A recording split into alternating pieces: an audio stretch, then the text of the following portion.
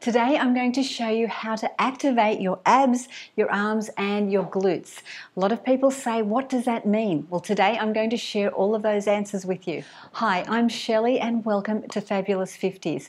Today I'm going to explain a question that I get asked all the time and that is, what does it mean to hold the core in tight or to activate my arms?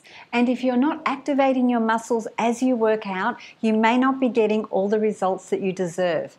And a big hello to all of my fabulous subscribers, and especially the ones who asked me this question. You are fabulous. And if you're new to Fabulous 50s, click subscribe and ring that bell for more videos created for women over 50. Okay, I'm going to go through all the different body parts and show you how to activate them. And when I'm doing my workouts and I say hold your core in tight or, or make your arms strong, I'm going to show you how to tell the difference. So we'll start with the arms. And when I say strong arms, when you're doing a move like this, even if it's just arm circles, what I mean by strong arms is you hold them out tight and imagine if someone was pushing down on you. Like in kinesiology, you hold your arm strong so that nobody can push it down. This is a weak arm, so you just like that. That's having no resistance in your arm. And someone could put, put your arm down very easily. And when you're holding it strong, you're holding all of your muscles tight. And you can feel that, right? So do that yourself. Hold it strong and then loosen it like that and then do an arm movement like this. So this is just a soft arm. You, you can feel that nothing's happening. But if you do the exact same movement with a strong arm, hold it strong, and you're going up and down, you can see the difference. You can feel the difference. And that's where you can be really losing out on the benefits of exercise. Doing this, that's that's good because you're moving your body but this is so much better because you're getting strong. And another way to think about it is to use your mind to visualize the muscle that you're trying to activate. So if i'm trying to activate my bicep muscle i'm going to touch it and i'm going to think about the muscle. So when i'm doing a move like this and touching that muscle I'm able to connect. Oh, that's what I'm doing. I'm touching that muscle. I can feel it. I can see it. Even if you've got lots of coverage over your arm, which many of us do, you can still know that it's there. Okay? And then we'll do that move again with no activation. So you just go like that. And when you go like that, you're going to be able to tell the difference instantly. So doing this there's no activation. You're moving your arm, but it's not strong. Do this now. Touch it, and you'll know the difference. Okay? So if you're doing an arm workout and all of your muscles in your arm are activated, you get results. But this is just like you're not trying hard enough. Okay? And we need to try hard to get results and also with your tricep muscle. Touch your muscle and then do this sort of a movement, and you can feel it going in and out. So when we're working our muscles, we're contracting them in and out. And you can feel it and you can imagine it. And if you imagine your body without all the skin and you're just bone and muscle, and then moving your arm like that, you can see that muscle going in and out, in and out. And that's what I encourage you to do when you're doing your workouts. Focus on it. You're going to get stronger a lot quicker if you do that. Okay, and now another big confusion is the abs. And this is our core. We want to keep this as strong as possible and as toned as possible. Again, even if you've got some belly fat, that's okay. We can work on that. But underneath that belly fat is this very important muscle and, and family of muscles. And when we pull those in tight, so do this with me, pull them in tight. It's like from here and you're pulling it in towards your belly button. You're still breathing because I can still talk, but I'm pulling them in. And then you can feel you're strong when you hit it, your tummy like this. Okay? As opposed to just your tummy hanging out. It's a different feeling.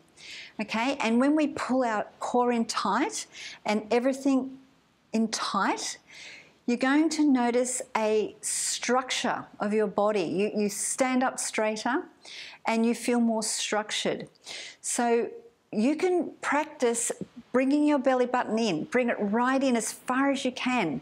Imagine you're bringing it all the way in towards your spine. And that's what you do when you activate your belly, your your abdominal muscles, you're pulling it in.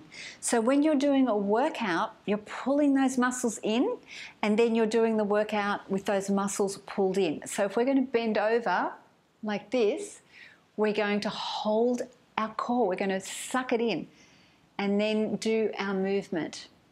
Or if we're going to do a movement like this, try this. So just have a loose belly, and soft arms and soft legs and just do this.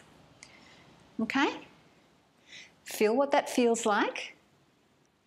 And now change it up. Touch your belly, pull it in tight. All those muscles, imagine your muscles. Even if you can't see them, that's okay. Pull them in. And then bring your, as you're pulling them in, bring your leg up. So it's kind of like you're bringing your leg up with your abdominal muscles. Okay, you're standing up straight, your shoulders are back, your core is pulled in, and you're touching it. Then bring your leg up. And you can feel the work's being done with your abs. And when we do a standing ab workout or a seated ab workout, this is what we do. Now, let all your muscles go again and do the same move. Can you see the difference? Can you feel that? So, this is what we've got to do. And if we can train our bodies to be in this state, just when you think about it, just normally during the day, think, Am I holding my core in? Because if you are, you're training it to be strong. And this is connected to this. So, our spine, everything is going to benefit with us pulling in during the day.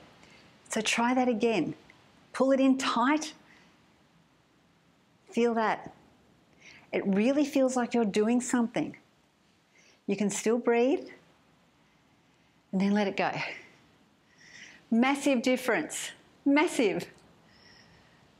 Okay, now we're going to move on to the glutes.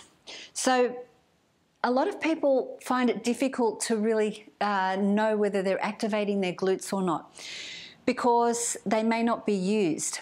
And the goal is to use these muscles more than we use these muscles.